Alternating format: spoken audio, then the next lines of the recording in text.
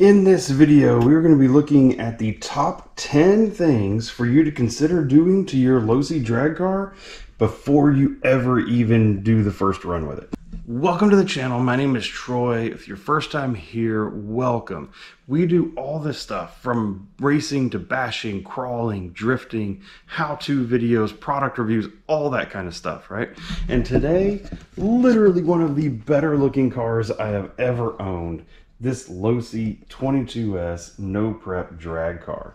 Now I've been driving this car for, I don't know, a few days now. And there's a few things that I kind of wish I had done straight out of the box that um, I learned either from the message forums or I've learned now personal experience that I think you would probably benefit from doing before you ever even uh, turn the first wheel, do the first burnout with this car. So I categorize them down into 10 things. And so let's go through them and show you what my thoughts are. Item number one on our checklist is checking your slipper clutch settings. These are very important in a drag car.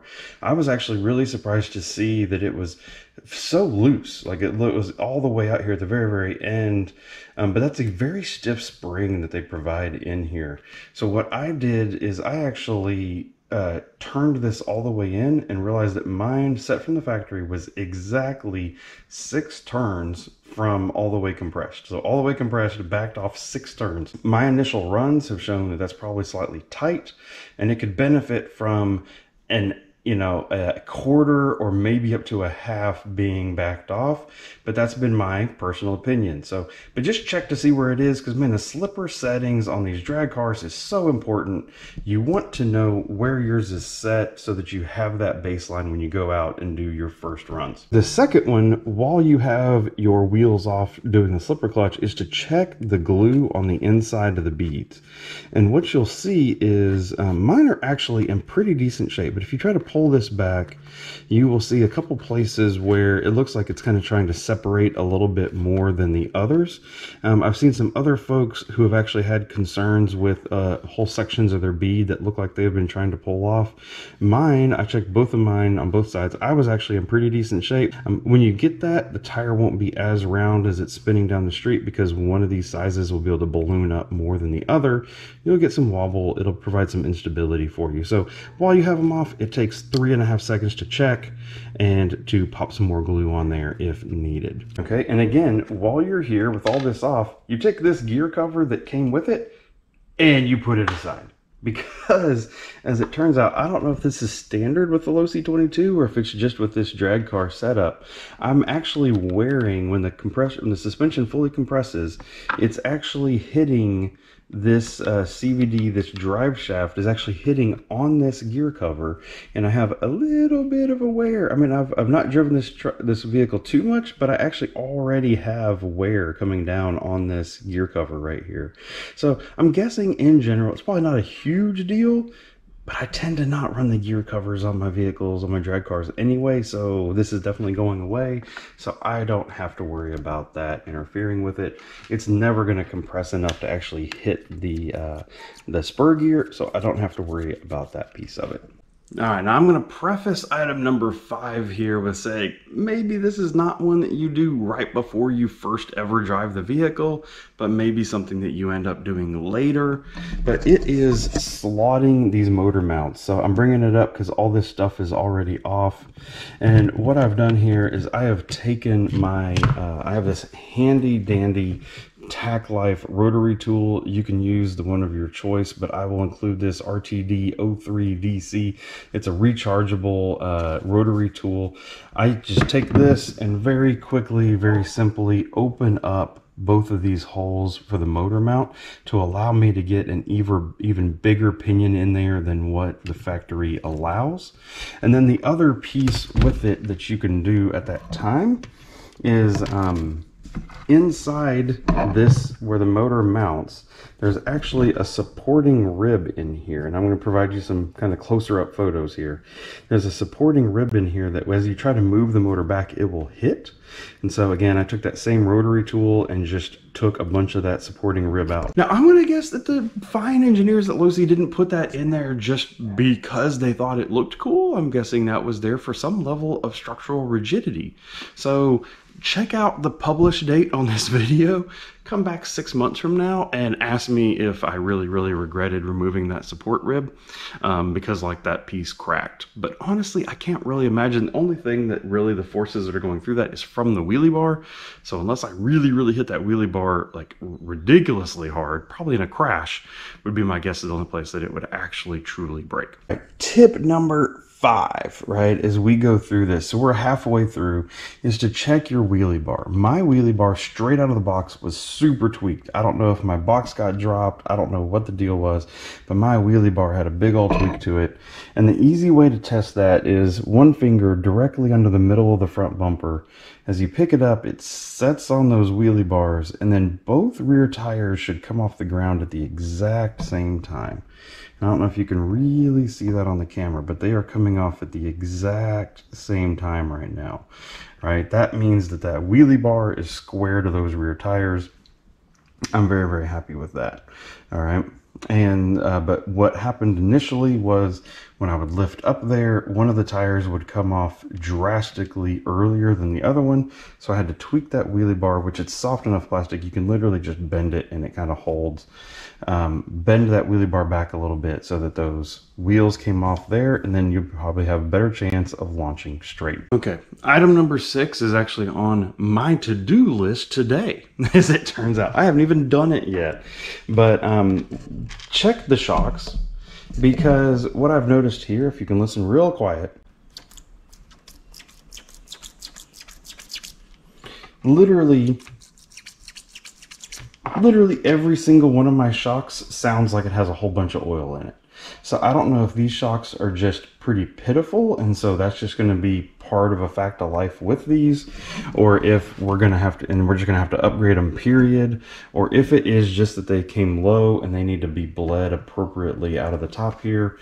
But uh, every single one of them you can hear has oil in them. So I'm going to be taking these caps off. I'm going to be making sure that they are super full of oil and bleeding out any air that I can get out of them to make sure that I have that repeatable, uh, smooth motion with my shocks. The next items are all about this ridiculously gorgeous body that comes with this vehicle. So it looks awesome and it really it really really is.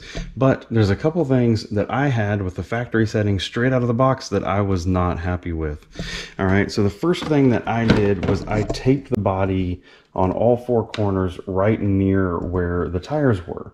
In my DR10 Team Associated, I tended to wear the paint off right here. So when the body, when the front compressed down, the tires would actually hit and they would rub the paint off. I have not seen that on the front of this car. It seems like the tires are spaced in appropriately to where that's not an issue.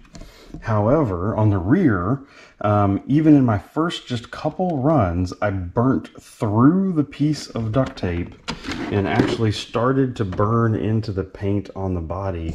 And I mean, and that was literally like four runs and it went through. So the body was way, way down low. So one, tape your body. And just a couple of those four pieces of tape on there. Yes, it's a small amount of uh, extra weight. Probably doesn't really matter. Now, if you don't care how good your body looks, then you can just skip that one, right? But the other piece with this is setting the body height. And so the rear, I have left, the front, sorry, I have left completely alone. It has been fine.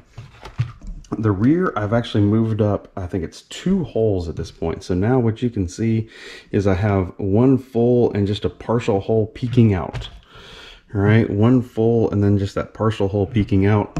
That has raised up the rear of the body just slightly. So with that height, with the stock tires, it'll still barely rub. You can actually see um, especially this is the left rear, you can actually still see some marks on there. It's still rubbing a little bit, but I'm hoping that um, I'm quickly going to be changing away from these stock tires. I have some Proline belted reactions and some tires like that that I'm going to try. And if they balloon just that little bit less than these that are not belted, then we'll probably be in good shape. But, you know, hey, part of that's aesthetics, part of that's also power, right? I mean, you don't want your car dragging on anything. And dragging on the body is slowing that wheel down just a little bit, if anything else. If, like mine, it's dragging on one side, not the other, it's probably doing a little bit of steering to your car too, right? So that's not good. So check that at the very beginning. I would recommend definitely, if nothing else, raising up the body height by that um, to where you only have one, just a little bit more than one hole sticking out and putting a couple pieces of tape on that body. Item number eight is also related to the rear of the body. So you can see here, I actually have rubber scuff marks right behind both rear tires. And I don't even know how I have that much scuff mark. I don't even know how that's possible. But you can clearly tell that that tire has been hitting this body right here. You can actually, there's like fuzz and everything coming off of it. So again, similar to this, one of my jobs that I'm going to do here today is I'm going to look at, can I, can I bring some of this bumper back? Now, the other thing that I've been debating recently is per the 13 and a half turn or per the Street Outlaws rules, I have to have a rear bumper and it does. It has a clearly molded rear bumper. The rules don't say that I have to have all the body work underneath the bumper, just that I have to have a rear bumper. And so this whole thing, I mean, look at the design of this. It's literally a parachute. It's a really good looking parachute, but it's literally a parachute that you're dragging down the track. So I'm going to investigate, can I actually come in here and cut in through here and actually remove all of this? And it'll do a couple things as it turns out. One, it'll reduce that whole parachute effect. Two, it'll stop those tires from rubbing on it as they balloon up. And then three, um, it'll make the body easier to get on. Because as of right now, with how these body mounts stick out, you actually have to pull the body back here and you have to curl the body in underneath there. So it just, uh, it'll make life easier too. So I'm all about making life easier. So that, I believe that is also on my to-do list for today is to do that piece. Item number nine is change your connectors. If you are running a different connector than what the ESC will come with from the stock factory, then you want to change it. Yes, it's XT90. Lots of people hate on me for the XT90s. It's what I run. So whether you're running something different, bullets, whatever it is, change that out so that it mounts to your battery. And um, it's in general, if you can shorten these wires at all, that's also helpful. So you can see I shortened mine all the way right up to that capacitor. Item number 10 is all about this bad boy right here, the GNSS Performance Analyzer. You know you need one. You know you're going to need it. You know if you don't, if you're doing RC drag racing and you don't have one of these, you need to stop right now, go buy one, and come back. Right, like, like that's what you need to do. That is that is how this is. That's how this thing works. So uh, where to mount it though, because honestly, there's not a lot of really good places. It will actually fit here. So if you're going to double side tape, it literally fits right behind the servo and in front of the battery. I mean, it's like they literally designed it that way. So maybe you want to double side tape it because and if you're like me, I move it from car to car. So you can double side um, tape it or Velcro, um, Velcro it right there. And then it is works beautifully nice and low in your chassis. I've seen some people try to work it into up here. That's not a bad idea. Also, that is definitely something that you could try to do. You could try to mount it up here. I found that with some, um, with just some simple Velcro strap, I can actually mount mine directly on top of the battery right there. It's kind of rearward. Um, it is up a little bit higher, but it is rearward and it works just like a champ. And then I'm going to give you a bonus 11th final tip. Hopefully you have already done this. If you have bought this car, you're going to want to go faster with it, right? And so you're going to run it stock for just a little bit and then you're going to immediately think like, ooh, what can I do to make it go faster? You need a set of pinions. All right, so I'll provide a link down below as to a couple pinions that I've already seen a lot of folks be very successful with. You know, you can get these you can get these group packages like these off of Amazon for pretty dang cheap, where you can um, get a series of pinions in different teeth that are right next to each other. That way you can fine tune that pinion setting that you have in your car, right? And so you know you're going to do that. So when you're ordering the car, I hope you've already, like I did, hope you already went ahead and just clicked that buy button and got a couple more pinions on their way. So I'll provide a link to those down below. All right, so that was our 10 plus a bonus one, 11 total tips for doing this first. The first thing you ever do when you get your Losi drag car before you go out. You can see, especially like stuff with the body. I've learned a couple lessons the hard way. Um, you know, there's still a couple things, obviously, that I'm recommending that I still need to go do, like which I'm, is on my to-do list today, which is rebuilding those shocks and cutting that body, some of those kind of things. If you're just getting it, please consider some of these things that I just suggested before you get out there. Um, if you're already a Losi owner or you're already out there and you have, if I've missed something, do I have something in here that um, I've, I've missed something? Hey, let me know down in the comments. I'd love to build this out and have some other tips and tricks. You provide something, I'll pin the comment and stuff so other folks can see it. So, hey, I really appreciate your support. Let me know if this video is valuable down below, and uh, I will see you next time. So thank you. While I'm out still doing these last couple modifications on my car, come over here. Check out some of the other stuff. We have that first run video that we did with this. How fast did it go right out of the box? How could I get it going down my street at least? How fast could I get it to go? Come over here, check that out. Check out some other videos that we have going on, and I will see you next time. So thank you and goodbye.